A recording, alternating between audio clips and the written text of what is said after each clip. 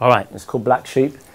Uh, I'm going to break it into three things because all good things come in three, as my grandmother used to say. Um, black sheep is obviously a British term, an English term. I think it carries abroad. Who's a, who, an Aussie knows what a black sheep is? Yeah. I asked a German guy yesterday and he understood it as well. So the, the black sheep is what I've always been called in my family. Uh, I'm Welsh, uh, so that's a nice uh, erotic image. But, but my sister's the good one. My sister's very good. She's a great mother, um, married her childhood sweetheart, and she says half jokingly, I think, she says, Tom, you know, you're the, you're the black sheep. And she, she tries to get me to settle down and, you know, do the right thing. And that's fine, I don't blame her for it, but that's where the term comes from. So I've, I've always been a bit of a black sheep, um, not doing what I should, um, not going down the career path that I should based on what I studied, not um, doing the right thing in terms of my school teaching, not in a dodgy way. But uh, my teaching methodologies were always quite bizarre. I was always monitored by senior management. My results were always good, above average. So they couldn't throw me out, right? Because Ofsted inspectors, their school inspectors, they liked me because the results were very good.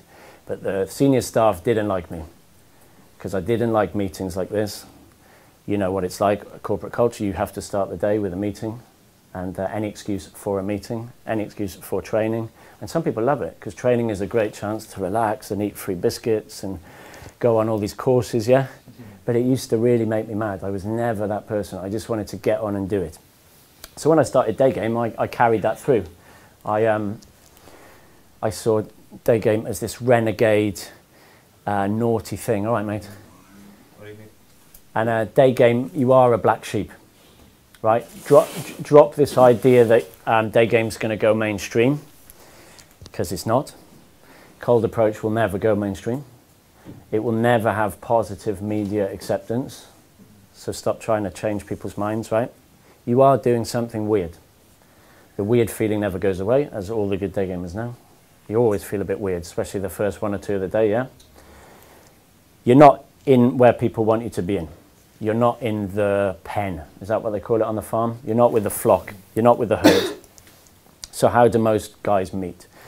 Their partners and their wives, you already know it's from work, it's from friend of friend, it's from now online dating, plenty of fish, match.com, it's from Tinder, lots of Tinder marriages, yeah. But the moment you tell people that I met this girl in Sainsbury's or outside Topshop or whatever, that, that's not allowed right? You're not playing by the rules. So as soon as I discovered day game, I thought this is great.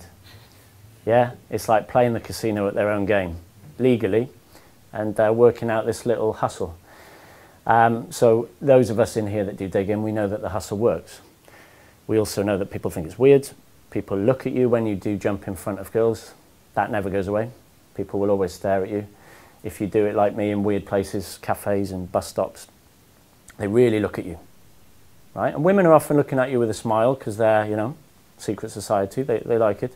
Men, they don't like it, right? You know, in a nightclub, you're going to get cock blocked, but in the day, there's a very subtle form of cock blocking, which is guys um, maybe interrupting the set, asking you for directions, giving you disapproving looks. I've had white knight guys coming up to student sets and trying to save the girl, you know, warning her about this creepy pickup guy.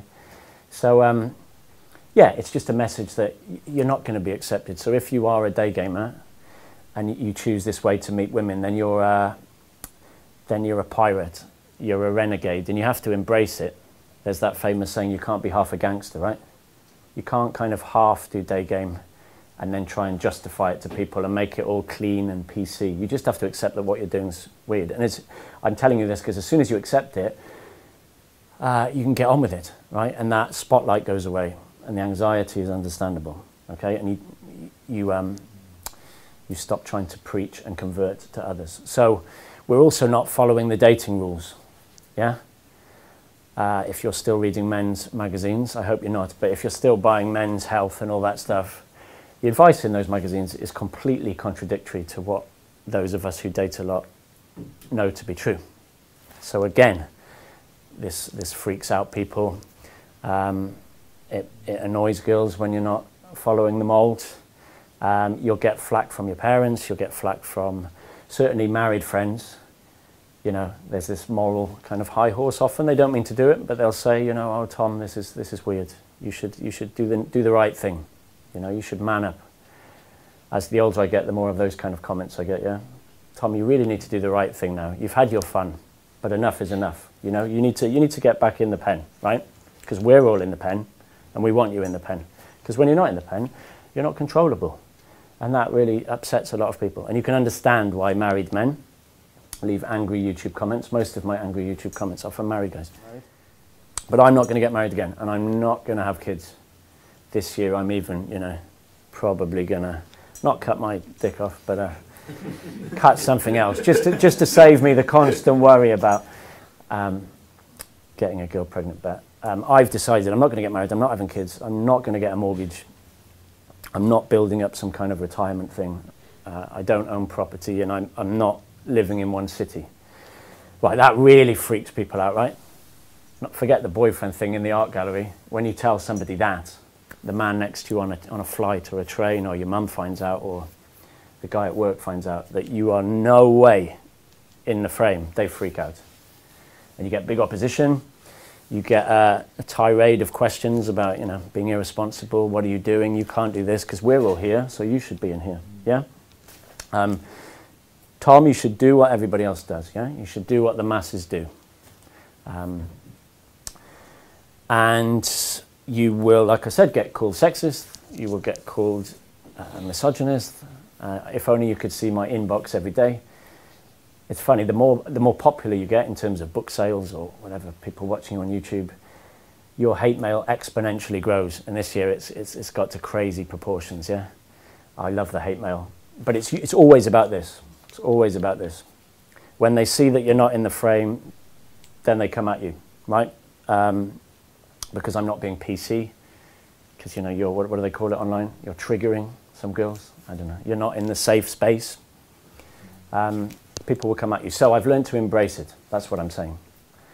Previously, I, I hid pickup. I was ashamed of pickup. I was ashamed of feeling masculine, of going after pretty young girls, right? People will make you feel ashamed. But the, it's weird. The moment I accepted it and said, okay, Tom, you can't be half a gangster. This is it. Day game's not something I do now. Day game is, is what I am. This is my lifestyle. This is my chosen thing. It's become my career. Then um, all those niggles go away and you stop feeling sorry about being the black sheep and apologizing to people. And the thing goes away about feeling too old. So now I go after the last three pickup videos I've got for the product are three 19 year olds. Right? And last year I'd have been, I'd have done it, but I wouldn't, wouldn't have gone after purposefully college girls in New York, London, and Poland. But this year, I don't feel bad. And I'm not apologizing. And I've realized the girl absolutely loves it. Yeah. Right? So the moment you embrace this as well, you realize this is cool, okay? All right, so we've really got to learn about the dynamics of frame because it's, it's helpful with your day game, it's helpful with your texting, it's obviously helpful on dates. But for those of you in here that decide to do the, the girlfriend thing for a while, temporary, permanent, engaged, move in, married, babies, you really fucking need to learn frame, right? I don't really need to learn much frame because my relationships last uh, a couple of weeks, maybe a month or two. But you want to do 30 years with a girl? All right, get ready, yeah? Okay, so frame, number one, the message is that it's not uh, combat. It's not angry. So what men misunderstand on the internet when men's rights guys are debating with feminists, the left is debating with the right, someone's debating with somebody, frame for them is a war. All right, and guys go, okay, I need to, I need to crush this girl. Yeah, she's such a bitch. And I say, she's not a bitch, she's just a bitch with you. I go, whoa, shit. Because you're, you're encouraging this combative thing, right? And the more you rage against feminists, the more they'll come back at you, all right? And the more you take shit tests personally, the more they'll grow, the more you'll lose, okay? So people with masterful frame, can anybody think of somebody in the spotlight right now who has masterful frame? Any? Hugh Grant's maybe. Hugh Grant's frame is pretty good. Donald Trump. Trump is what everybody's talking about at the moment. We don't need to talk about whether you like him or not, or you agree with him or not, but we, we can talk about his frame. with Brand? Brand lost the frame for a while, didn't he? And now he's, I think, well, he got, he tried to be political and his frame was fucked up and now he's vanished for a while. But I predict with Brand he'll be back. You can't keep an alpha male down, right? He's, he's going to be fucking good. But the Katy Perry thing crushed him when he got married. He, he lost the frame. Um, somebody like Gordon Ramsay, yeah, who did The Apprentice in Britain? Sugar. Alan Sugar, right? So you can watch reruns. Just watch the bit in the boardroom. Don't watch the staged um, trials. But watch Alan Sugar dealing with shit tests from weak men and weird girls, yeah? Watch Trump in the boardroom. Watch press conferences. Watch people with good frame. So if you're a day gamer, you know how to pass a shit test. Who would like to contribute to how to pass a shit test? What are the two main PUA methods? Agree and amplify and unaffected. Yep. Agree and amplify and unaffected. So you have to remember those two strategies for life, right? So if a girl comes at you, or uh, like I get, some journalists come at you, you get an email like baiting me to reply, asking me to appear on Channel 4, right? They're really baiting it, and they, they're the wolf in sheep's clothing, which we'll talk about later. But um, you think, okay, non-reactive. So that's usually my strategy number one. I don't reply to the email, delete. Right? Don't even reply because as soon as you engage in debate, as you know with children or sometimes angry girls, they're in, right? So then you've got to be ready for combat. So by simply ignoring it, which is a great club strategy, you know, she says, "Oh, you got such a gay shirt." You smile, you turn away. Yeah. Can't always do it though. You can't just keep ignoring shit tests on the street, especially not on a date, because she'll ask you what's wrong with you. Yeah. So the second strategy, which PUAs love, we should know it: agree and amplify. And that just means uh, smile, make a joke out of it, uh, parody it, agree ridiculously. Okay, so we're going to practice some of that in a minute. Um, and guys forget that it's not just the girl trying to take the frame off us. The girl, the girl is saying, "Come on, jump through my hoop." You can think of this as a hoop, you know. Any shit test from anybody, but today we're thinking about girls. So when she says, uh, "You're too old for me," or "Do you talk, do you do this all the time?" She's basically saying, "Come on, jump through my hoop." So when a Channel 4 reporter says to me, you know, uh, do you believe in, uh, do, you, do you feel threatened by powerful women? They often say that to me. Do you feel threatened, Tom, by powerful women? That's what they're doing, yeah? So um, I often don't jump from it, jump through it, but don't forget, guys, forget that I can also make her jump through my hoop. So frame control with girls is called, anybody know? Uh, congruence test. it's a, it's a test of congruence, but you are qualifying, right? So when I say to you, um, how tall are you? There you go, I qualified you. So my little strategy is also uh, the politician strategy. So when they ask me to jump through their hoop, I say, no, no, no, you jump through my hoop, right? So you deflect and, and qualify. So we're going to do a lot of qualifying with each other. And it's a very, very powerful strategy. Women love to jump through your hoop. Women, the famous saying says, don't really want to hold the frame, right? She snatches it off you like a little kid and she's waiting for you to snatch it back. And if you've got kids or you're a, a teacher, you've been a teacher, you'll know that they secretly want you to have the frame. They're pushing your frame just to see if you're a man or a mouse, but they really want you to take it back. So there's a delight in getting girls to qualify. There's a delight in passing shit tests. Okay, let's start with the girl first. So I'm the girl and I'm holding the frame. I'm on the street. You've just run up to me. What are some of the classic things that a girl says um, to basically say, come on, justify yourself, jump through my hoop? What shit test do you get on the street? Do you always do this with girls on the street? Yeah. Okay. So I'm saying to you, do you always do this? And what would the good response be? How can you take the frame off me? Uh, my, my usual response is, yeah, about six times a day, 30 Yep. times a day. So that's agree and amplify, yeah? Who uses that one? Do you always chat up girls? Or how many girls have you spoken to today? A lot of day gamers go uh, 364. Your number 365. That's agree and amplify. Anybody know a different way to deal with that shit test? What do you use for that when she accuses you of being a player? Um, I just say like, life is short. I see a girl, I'll go and say hello. Yep. sort of. Yep. So that's uh, non-reactive. Yeah. Uh, that's the one I use. So the girl says to me, "Do you do this a lot? Do you always go up and talk to girls?" And I actually ask her to jump through my hoops. So I say, "Listen, life's very short. When you see something you want, you should go for it. Don't you agree?" And girls always go, "Yes." And I say, "Yeah, good. I like that about you. That's good." Okay, so you win the frame. Uh, what's another shit test you get on the street? Come on, Big. Got a boyfriend. I've got a boyfriend, yeah. It's a, it's a pretty scary frame when you get that one. Freaks all my students out, 100%. So the interaction's been really good. You say, listen, I'd love to take you out. I have a boyfriend. She's going, come Doesn't on. matter. Come out with me anyway. Whoa, that's fucking alpha. That's good. Be wary of smashing the frame completely, RSD style. Keep you company when we're not together. Agree and amplify. He can pour the tea. Uh, he can take you to church. That's nice. Uh, he can keep us company. He can keep you company when I'm not there. I say I don't want to be your boyfriend. Uh, anybody got another one for I've got a boyfriend? I have a dog. I have a dog. Yeah. So that's almost non-reactive. You say that's nice. Um, that's nice. I have fish. Anyway, listen. Another time, I love to da da da da da da da. And you'll be shocked if you haven't tried it. You'll be shocked that you get 50% of girls giving you the details. Obviously, they don't all come out with you. Depends on how committed they are and what stage of the relationship really is. Okay. If she's engaged, it's pretty hard. Sad statistic that I never really put on YouTube. I'll probably cut this bit out. Is that more than 50% of the girls I've laid in five years have had a boyfriend. And if she says she's married, you stand almost double the chance of fucking her.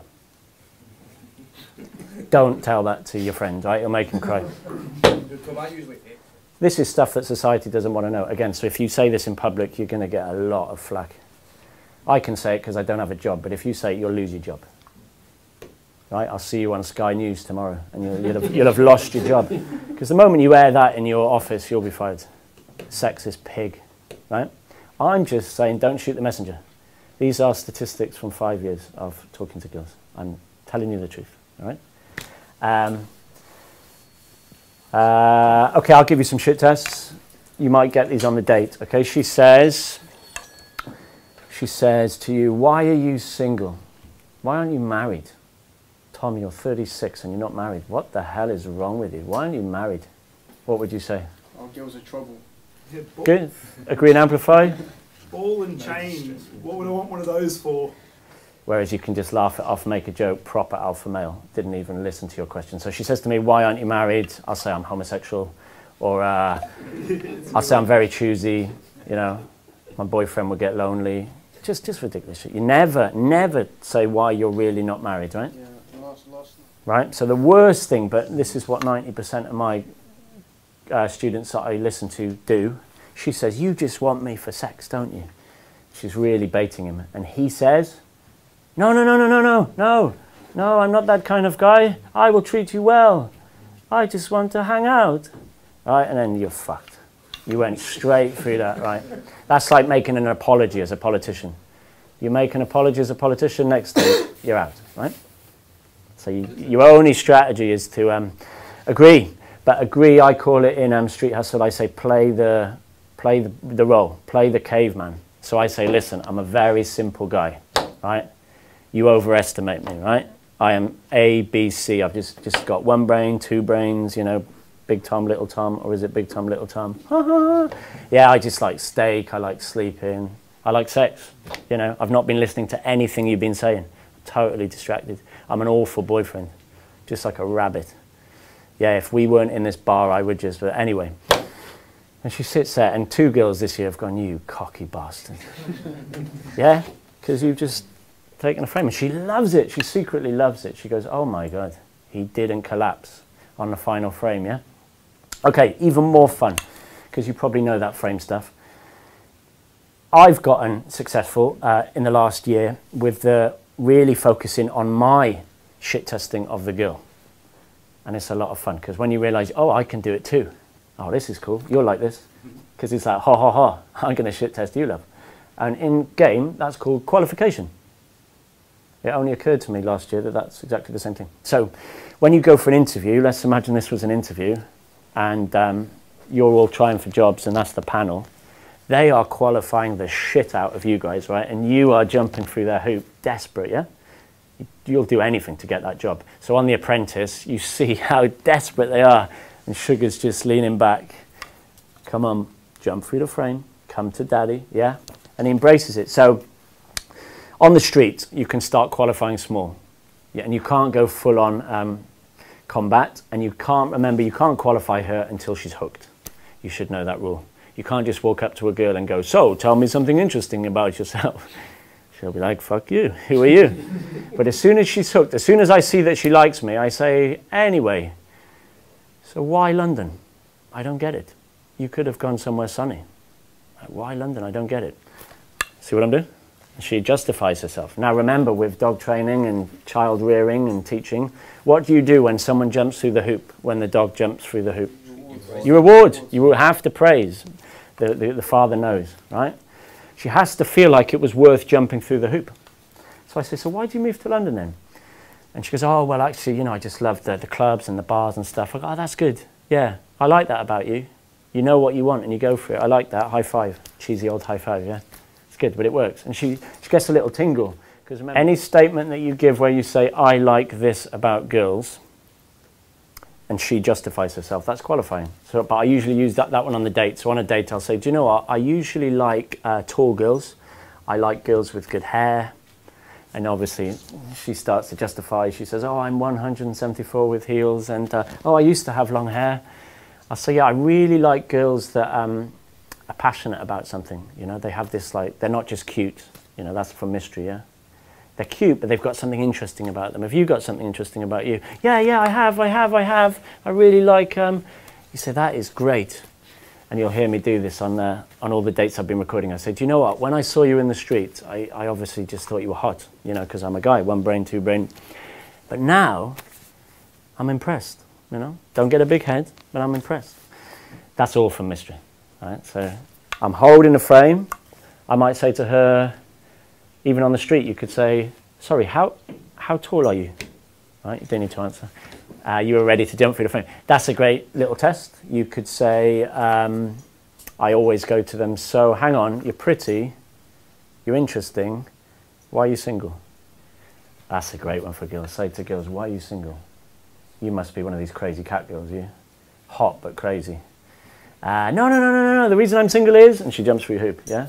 And you go, I like that about you. Two points, well done. Two points, don't fuck it up. Two points, good. Yeah?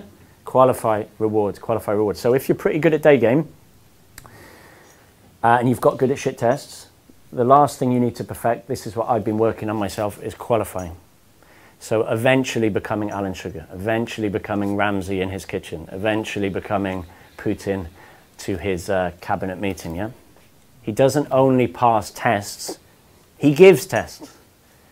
You have to really think about that one, yeah? And not many PUAs I see, not even good PUAs, are, are good at qualifying.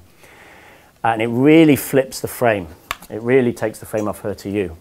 Because you're no longer the sheep in the pen, you're the, the, the farmer with the pen or the sheepdog gathering the sheep into the pen. Give girls things to do. Does anybody use that technique? Bring me this on a date, or do this for me, or I want you to do this. Has anybody ever tried that with a girl? Look, I'll buy the drinks, first round mission for you.